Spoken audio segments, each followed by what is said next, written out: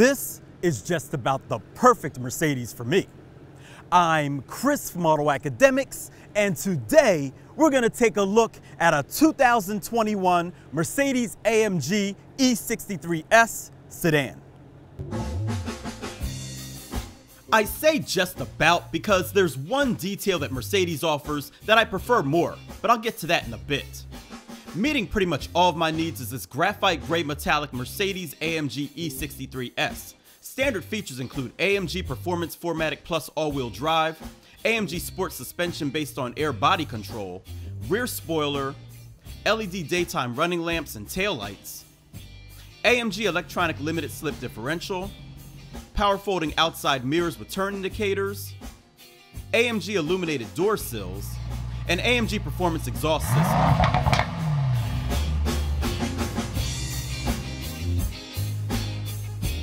Comfort and convenience features include the AMG Performance steering wheel in Nappa leather and Dynamica, dual zone automatic climate control, 12.3 inch widescreen digital instrument cluster, 12.3 inch touchscreen display, touchpad with central controller, Mercedes Me Connect services, Mercedes Benz user experience, Android Auto and Apple CarPlay, voice control, What can I do for you? inductive wireless charging, Sirius XM radio all access, silver seat belts, Wi-Fi connectivity, near field communication, power heated and ventilated front seats with lumbar support and memory, floor mats with AMG lettering, heated armrests, split folding rear seats, AMG drive unit, AMG dynamic select, seatbelt adjustment, sunshades on the rear doors and back window, tons of massage functions,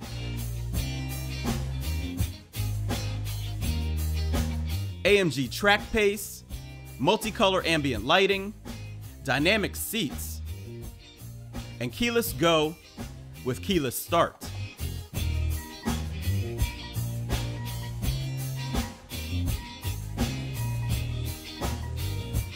Safety and security features include attention assist, blind spot assist, surround view system, and parking assist Parktronic.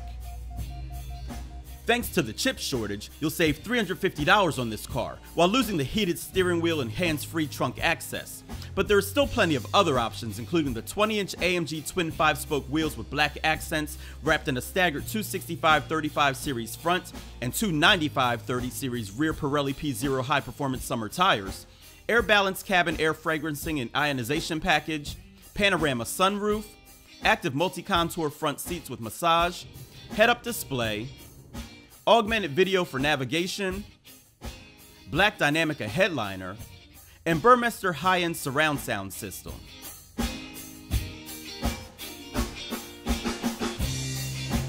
The AMG carbon ceramic braking system adds 9 grand, and then there's the driver's assistance package that includes active distance distronic, active steering assist, active lane change assist, active emergency stop assist, active speed limit assist, evasive steering assist, active lane keeping assist, active blind spot assist, pre-safe plus rear and collision protection, pre-safe impulse side, route-based speed adaptation, and active brake assist with cross-traffic function. The exterior lighting package adds the LED intelligent light system and adaptive high beam assist. The AMG Night package provides high gloss black elements on the front splitter, exterior mirror covers, fender inserts, side sill inserts, window trim, rear diffuser insert, and black chrome tailpipe trim. And last but not least, the Acoustic Comfort Package adds increased cabin insulation on the windshield and side windows with acoustic and heat absorbing membrane. After nearly $30,000 worth of add ons, you get a total MSRP of $134,440. One thing I like about this E63S is its menacing look. Check out the twin power dome hood, large air intakes, and wider stance. In fact, this E63S is 1.1 inches wider than your auntie's E-Class. That additional width is to house the larger wheels, as well as these humongous carbon ceramic brakes. The front rotors are 15.8 inches with 6 piston fixed calipers, and the rears are 14.2 inches with a single piston floating brake caliper. The trunk holds a slightly smallish 13.1 cubic feet, but the rear seats do fold down, providing a little more capacity.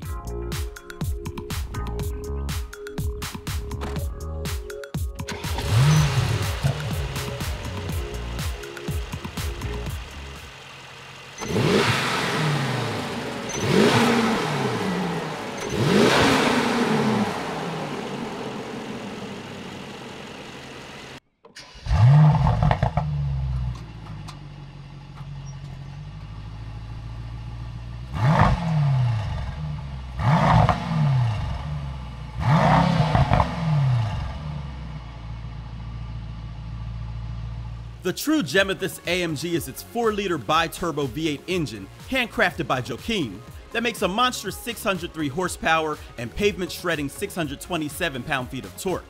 An AMG Speed Shift multi-clutch 9-speed automatic transmission handles the gears, sending power to the rear biased all-wheel drive. AMG Dynamic Select with race mode is present, allowing for a 0 to 60 time of 3.3 seconds. Top speed is electronically limited to 186 miles per hour. With the help of cylinder deactivation, estimated fuel economy is rated at 16 miles per gallon city, 23 miles per gallon highway, with a combined rating of 18 miles per gallon. Auto Academics saw a lesser than combined average of 16.3 miles per gallon during testing on premium fuel.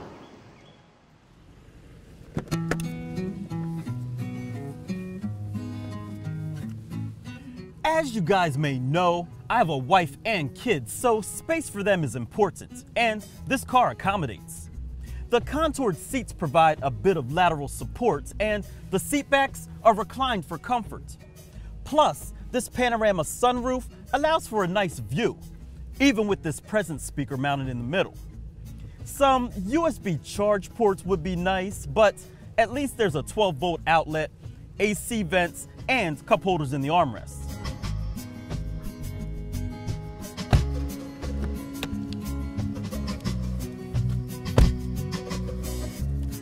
I've said this before, and I'll say it again. I love the interiors in Mercedes high-end cars, and this one is a good example. The piano black, silver, leather, and carbon fiber work well together, and these seats are fantastic. The steering wheel is too, although the Dynamica will wear rather quickly due to the oils on your hands. You could wear gloves like I do in sim racing, but who's gonna do that in real life? I do like the updated control dials. They're brighter with new graphics, and this Burmester stereo is still among the best. The bass is exceptionally deep and clean, and the treble is bright. Plus, the mid-range is solid. Finish things off with one of the best infotainment systems on the market, and you understand half of why I like this car. Now you find out the other half.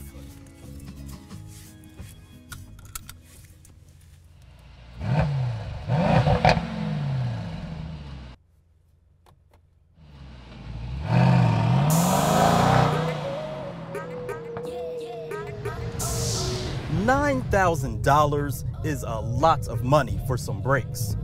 And while I probably wouldn't drive my car that hard if I owned one of these to warrant such a purchase, they work really well. They're progressive, firm, and very strong. And having experienced them on a track, I can attest to their performance. But that is only one part of this machine called AMG.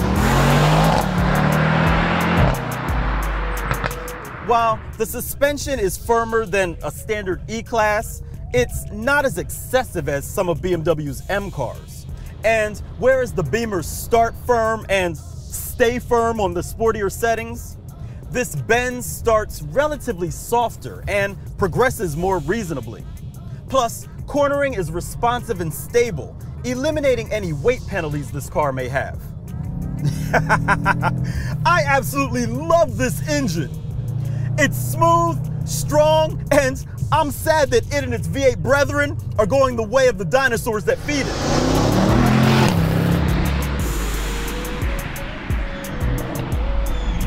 I mean, listen to it.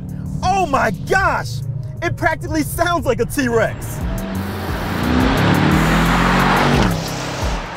The multi-clutch transmission is quick too and delivers just the right amount of punch to your back.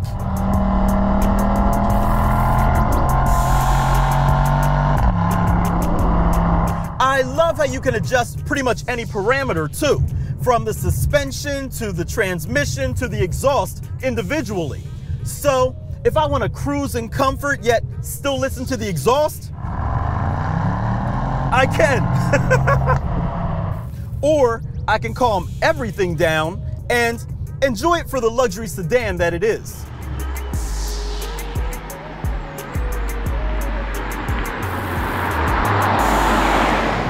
Now you know the remaining 50% of why I like it so much.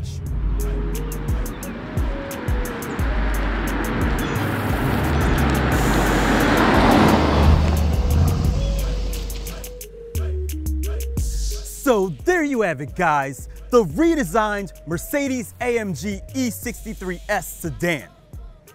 This is just about the perfect Mercedes for me. Make it a wagon and I'm sold. But first, can someone loan? No, give me a hundred grand. I'm good for the other 30. So which would you choose? This sedan or the wagon? Let us know in the comments section below. As always, if you like this video, give it a thumbs up.